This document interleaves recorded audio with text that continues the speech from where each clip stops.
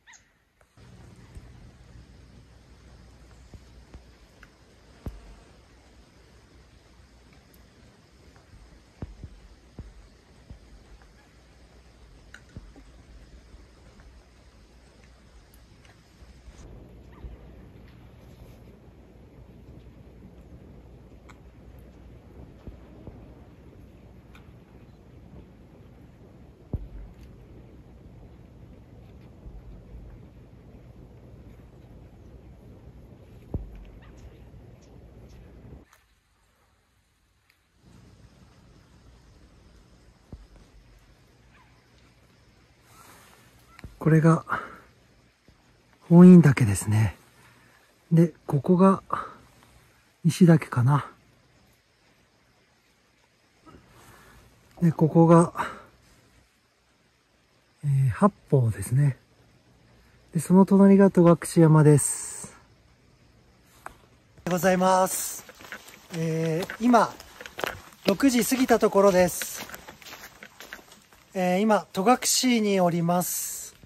えー、これから戸隠連峰を登るんですけれども、えー、まず西岳から登っていこうと思います。えー、西岳戸隠山、で時間に余裕があれば、え高妻登ろうと思ってます。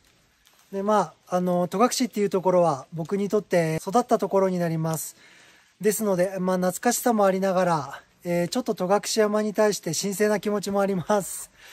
ですので、まあ噛みしめながら子供の頃からずっと見てきた山を、えー、ゆっくり登ろうと思います。では行ってきます。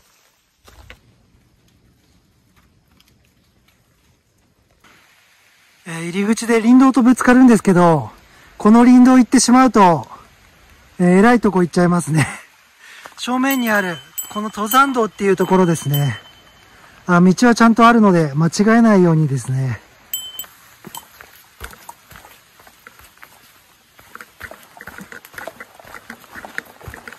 えー、まず、えー、図書があります。沢を、えー、2個ぐらいかな、えー、渡るような感じになりますが、えー、雨が昨日降ってましたので、まあ、ちょっと水が増えてれば、靴脱がなきゃいけなかったり するので、ちょっと心配ですね。えー、かなり下ってますね。一回だから沢まで降りてって感じですね。で、まあ情報だと、そこから急騰になるみたいなので、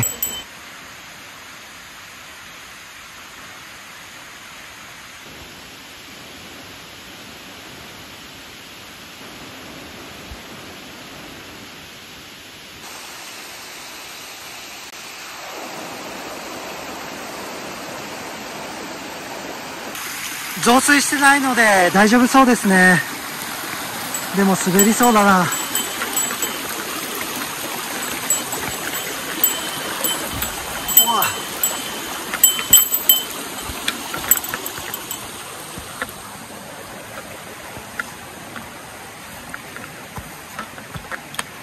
えー、ここのルート破線してるって聞いたんですけど、結構赤い紐もしっかりあるし、えー、最近は登ってる人が結構いるみたいなので、大丈夫そうですね。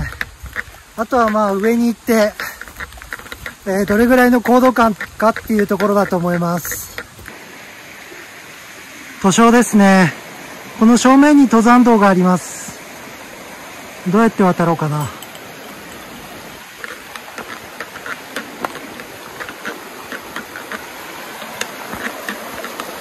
今日は川の水少ないので行けそうですね。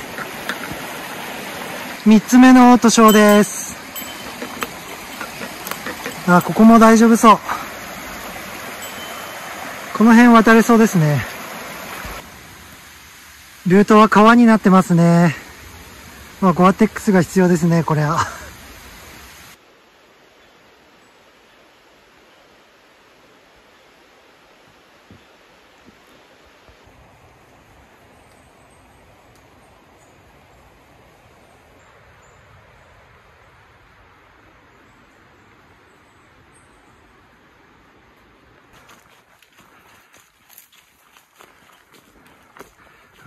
神々しいな。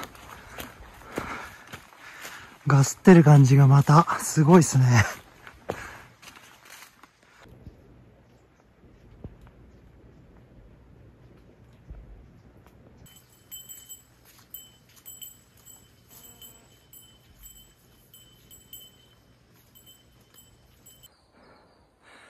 まあ、こんな感じで、整備されてて道も広いし、非常に歩きやすい登山道ですね。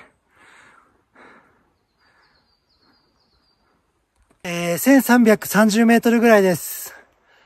ようやく、えー、戸隠山もちょっと見えたりとかしてて、まあ、綺麗な森の中を、緩い斜面を少しずつ上がってくるって感じだったんですけど、まあ、ここから、かなり急登が始まりますね。多分これ山にもう登るような感じです。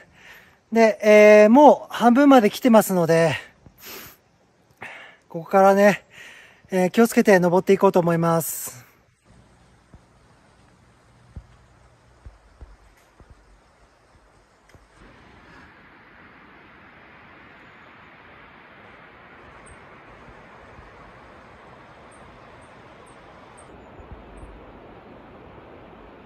ああ、リフトのてっぺんが見えますね。第5かなあれは。いや、あの辺だけ光当たってて綺麗ですね。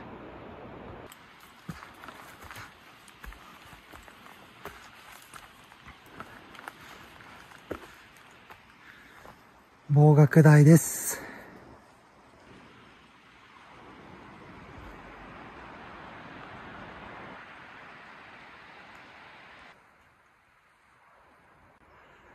これもルートですね。すごい。この目の前にちょっと橋だけ見えてるのが飯綱山ですね。ふもとと頂上が見えない分すごく大きく見えますね。鎖が見えてきましたね。岩大きい。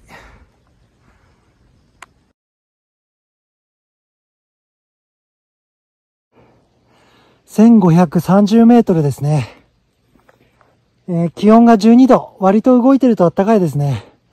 ここから多分険しい感じになると思います。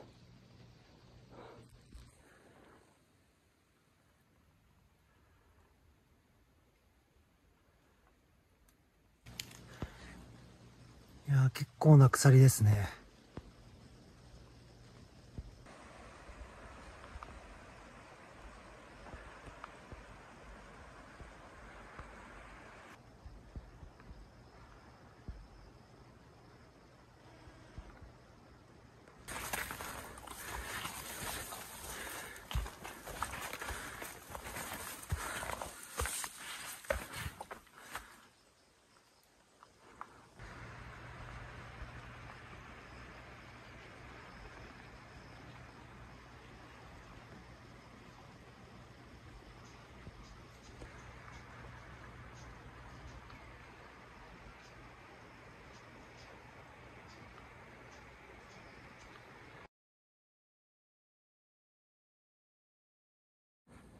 1680メートル。見えてきましたね上が。熊の遊び場ですね。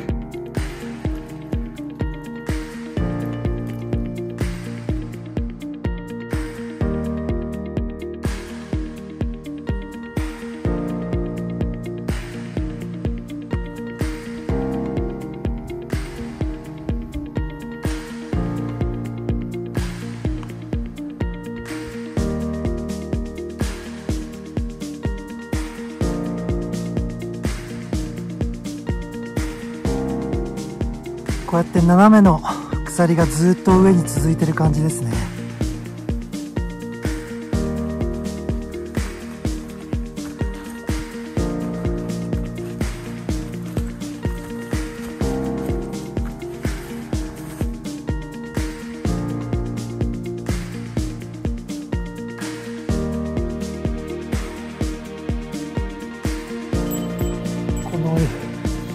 岩が難しいとかじゃないんですけど、こうやってずっと岩と鎖が続きながら登ってるっていうのはすごいですね。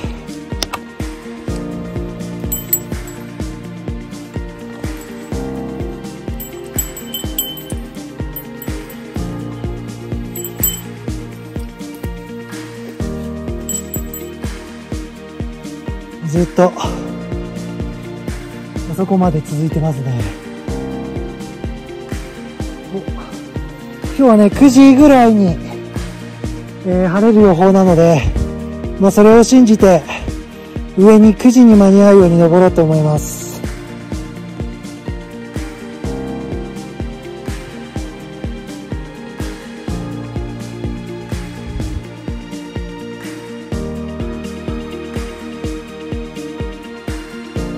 尾が見えてきましたね向こう側青空かもしれないですね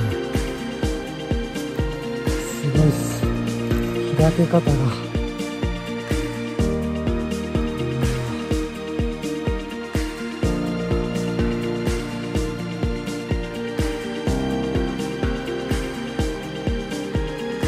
すごい下りが待ってますね。どうやって降りようかな。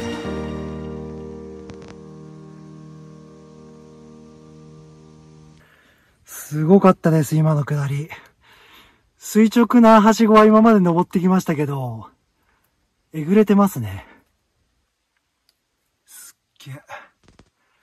もう手離したら落ちます。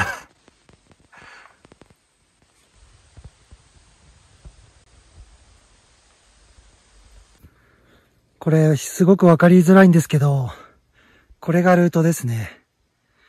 で、ここ笹がえっ、ー、と、切れた状態で乗っかってるので、ここに足を入れると崖に落ちますね。ここ崖です。すごいですね。来たって感じします。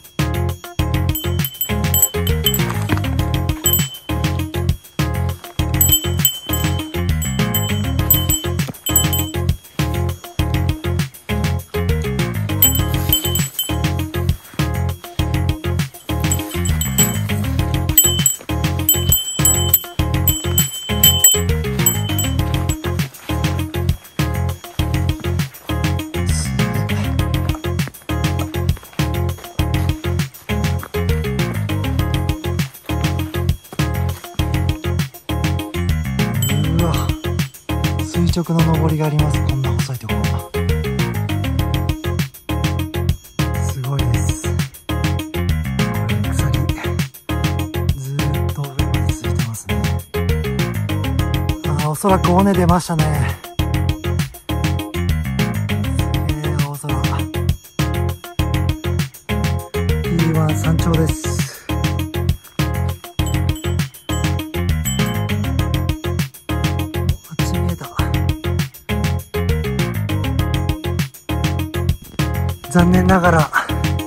場側はガスガスです。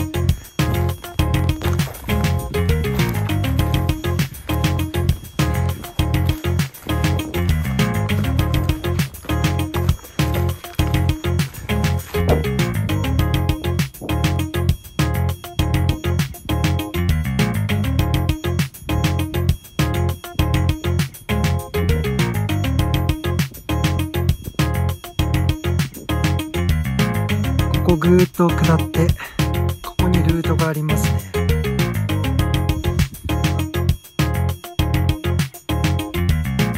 本当に9時頃になってきたら太陽が見えてきましたね。白馬が見えました。うわすごい綺麗だな。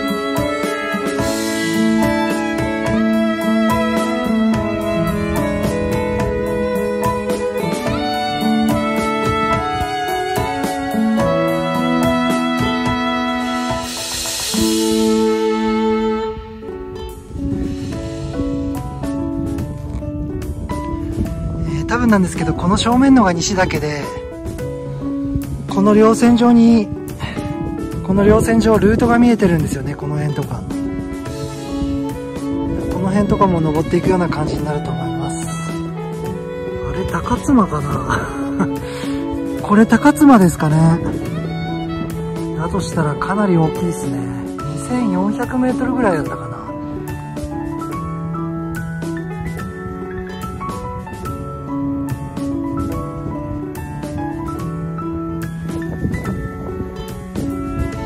いいですね。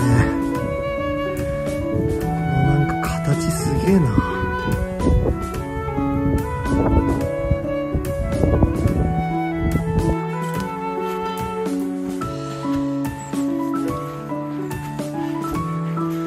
西岳来ました。2053メートルですね。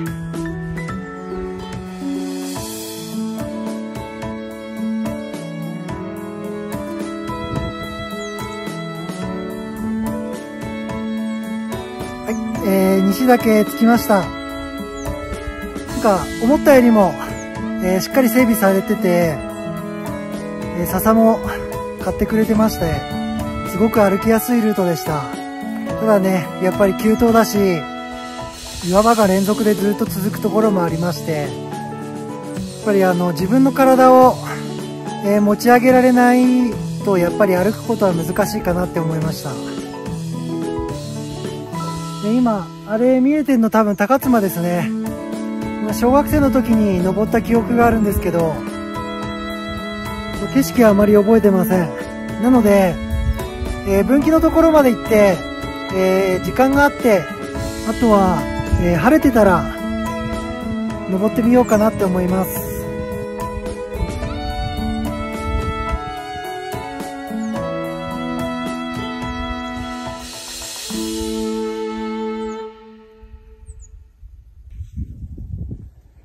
結構滑りそうな下りが続いてます。で、下崖ですね。転げたら危ないね。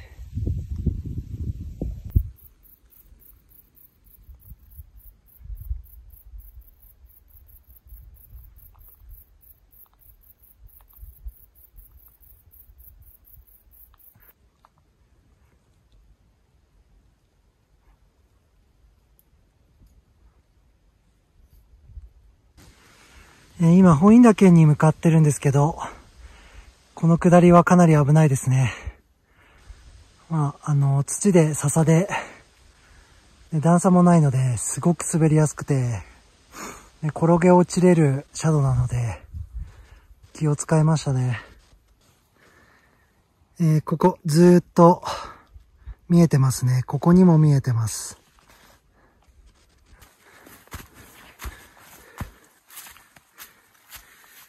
本院岳到着です。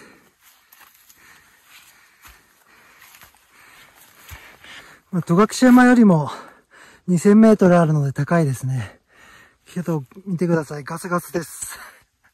残念。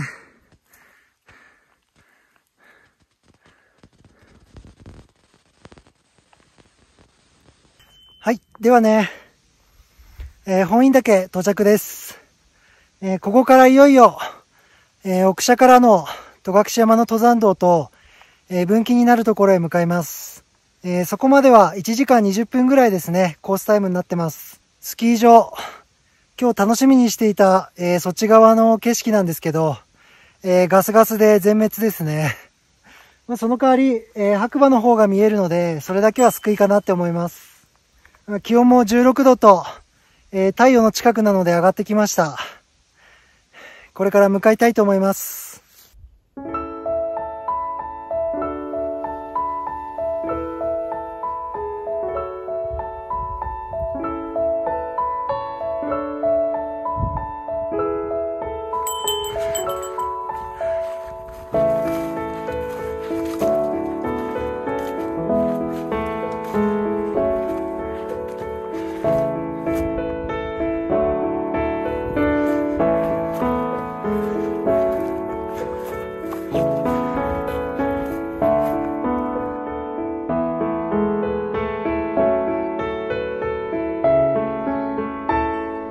高妻ですね。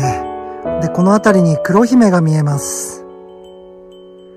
でですね、今ルート先の方まで見えてるんですけど、えー、ここからものすごいがっつり下りますね。もうこのほんと下の方にルートが見えてるので、ものすごい下ってものすごい上がるような感じになるんじゃないかなって思います。スキー場見えましたね。ようやく来た。こっちが駐車側ですね。駐車側で腰水ですね。ようやく見れましたね。朝板鏡池です。結構大きいんですね。そして戸隠が見えてますね。あっちは長野市か。一望できるんですね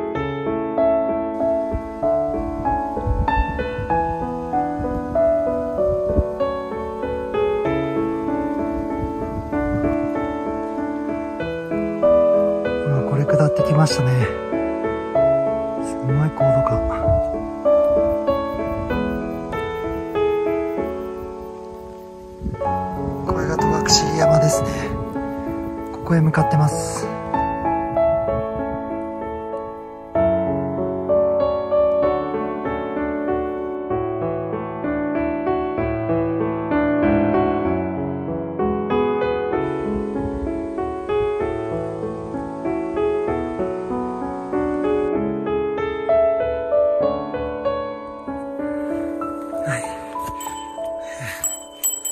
着きましたね。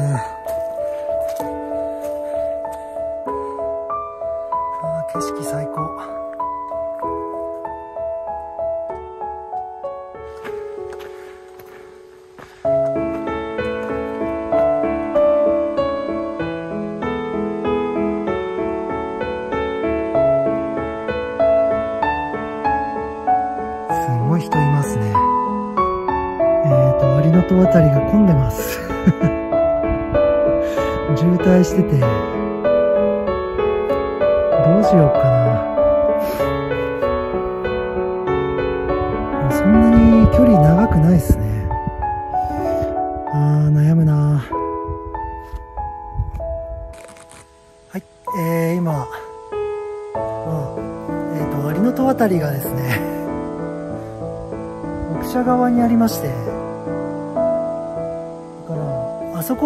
って戻ってこないと、えー、戸隠山山頂に行けないんですよね。だから西岳から来ると、えっ、ー、と、有野戸辺りを通過してしまう ルートになってますね。なのでまあ、荷物をデポして行ってくるしかないのかなって感じです。で、奥社ですね。ここ、杉が、杉並木の直線にありますね。ね、戸隠スキー場。その奥が飯津の山ですね。鏡池。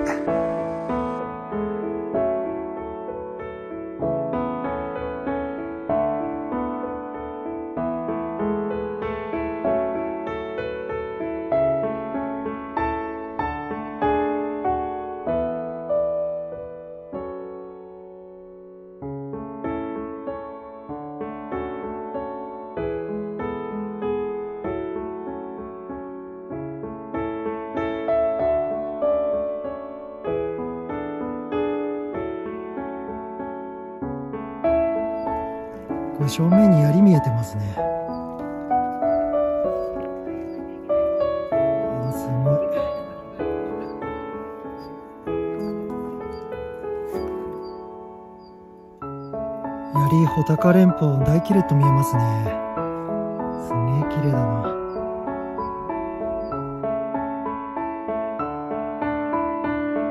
はいじゃあ有野戸渡り渡ろうと思います今渡ってきたんですけど、そこまで細くないですね。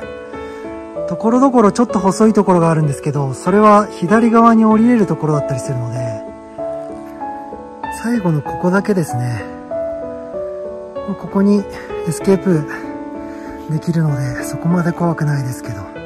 あとは割と思ったよりも動画より広めな感じでした。戻ってきました。まあ、20分ぐらいですね。結構、大変な登りでした。では、戸隠山向かいます。もうルート見えてますね。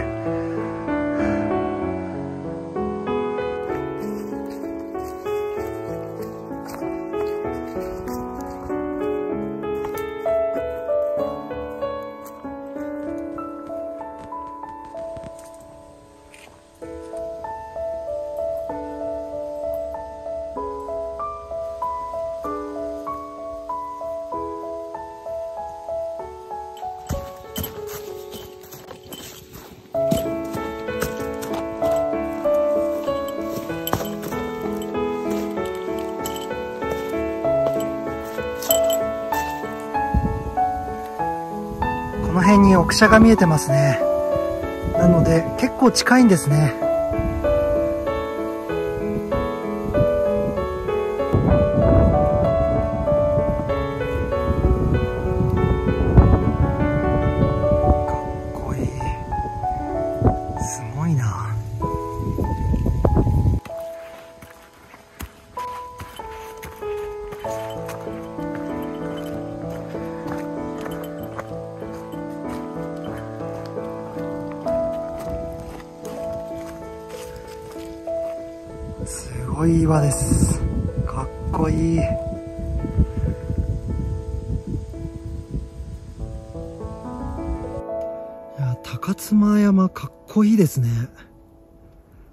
すごい急騰。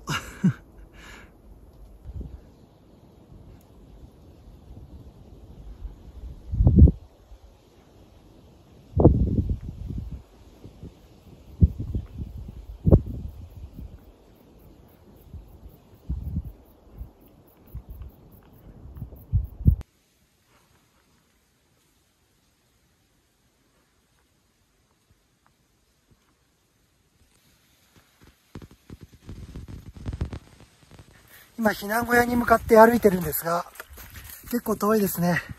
尾根伝いに、えー、アップダウンがずっと続いてまして、結構大変ですね。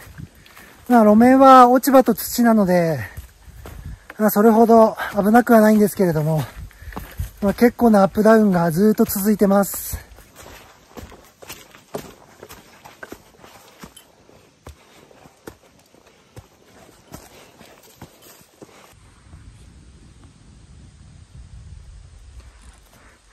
で、あれが来たところですね。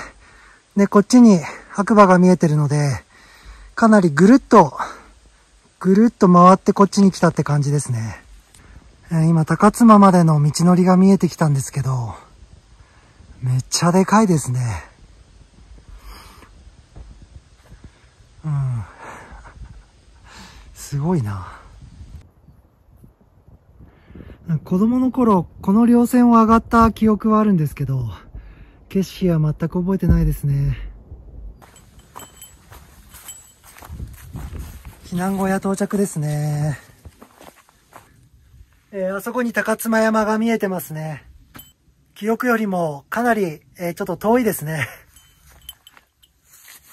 まあ、この尾根をずっと登ってって、一度登ると横移動っていう感じなんですけど、そこまでが結構大変で、おそらく夕方になってしまいますので、今日はね、余裕を持って下山したいと思います。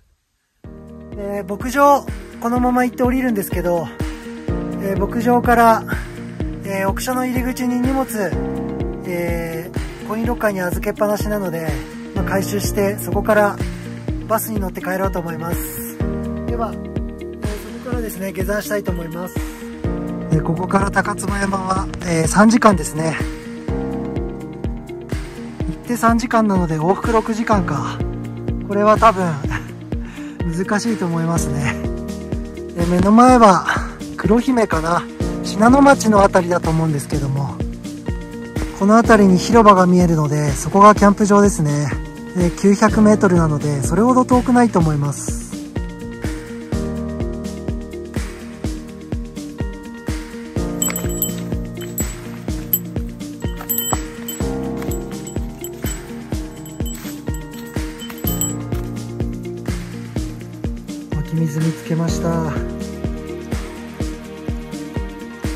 氷清水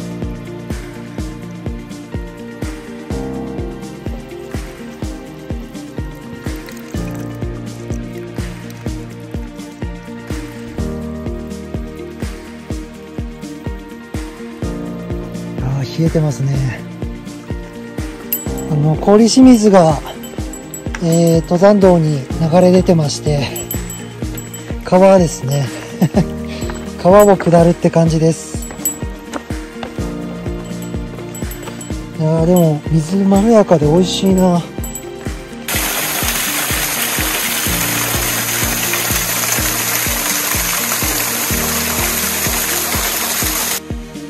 鎖がちょっとありましたね。でも足場はしっかりあるので問題なさそうです。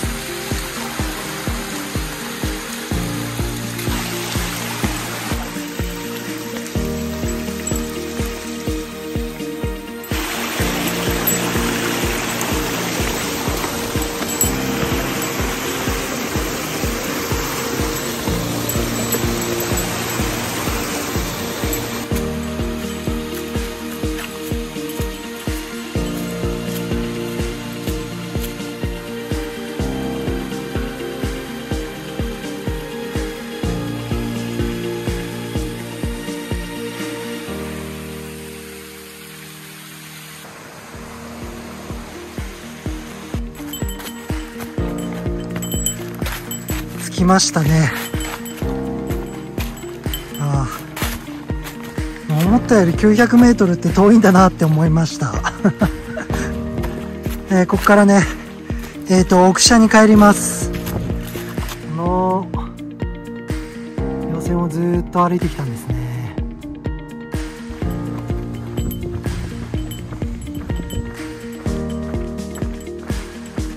懐かしいですね。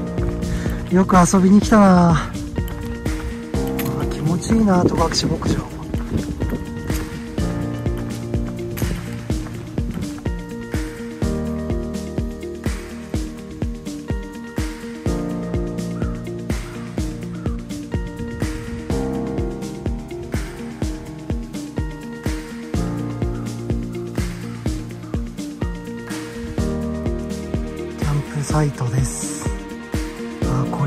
らしい景色ですね、えー、ここでキャンプしてみたいな。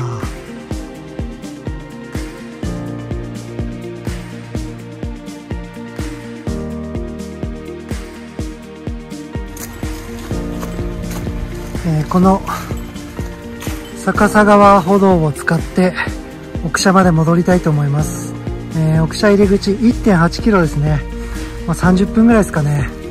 では行きましょう。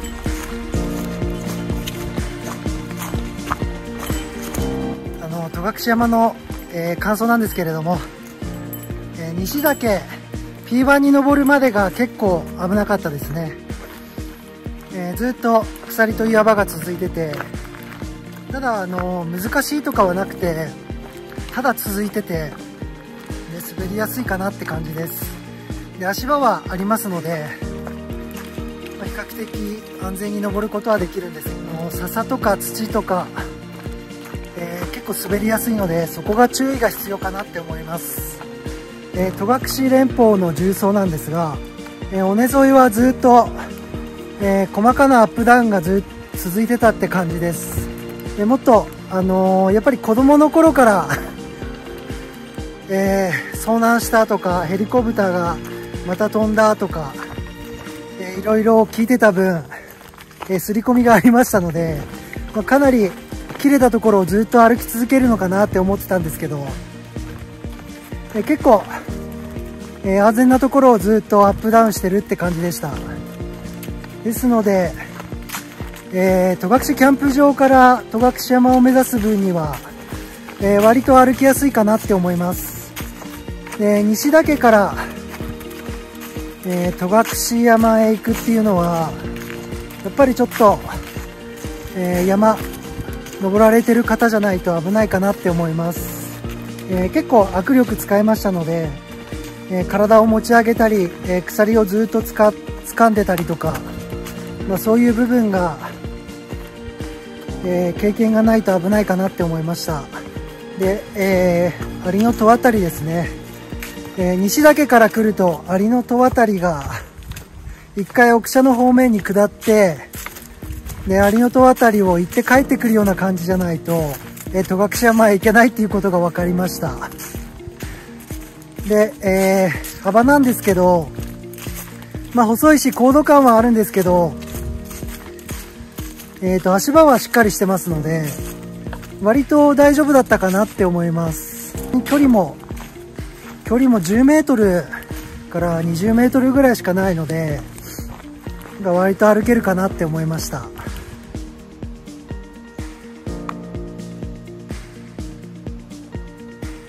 ました。奥社であと30分ぐらいでバス来ますので急いで準備して待ってようと思います。